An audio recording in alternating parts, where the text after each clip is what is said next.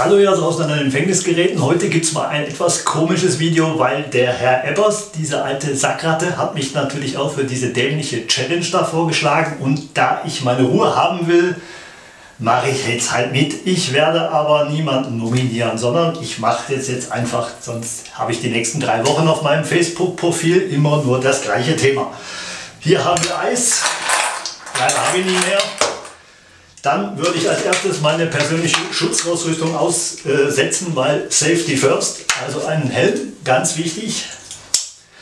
Dann braucht man natürlich noch ein paar Handschuhe, auch ganz wichtig, weil wenn man auf dem Eis jetzt ausrutscht, in die Wanne fällt, äh, warum mache ich das in der Wanne? Bei uns regnet es gerade wie die Sau und ich möchte meine Kamera nicht da im Regen stehen lassen. Deswegen gibt es das halt jetzt in der Wanne. So,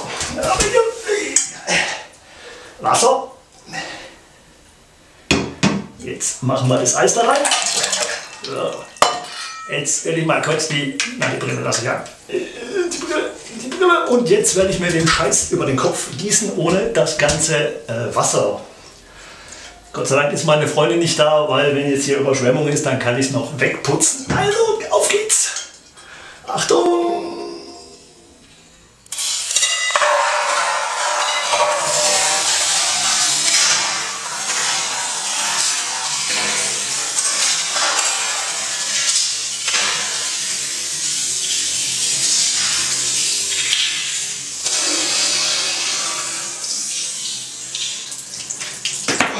Ihr wollt nur meine Nippel sehen.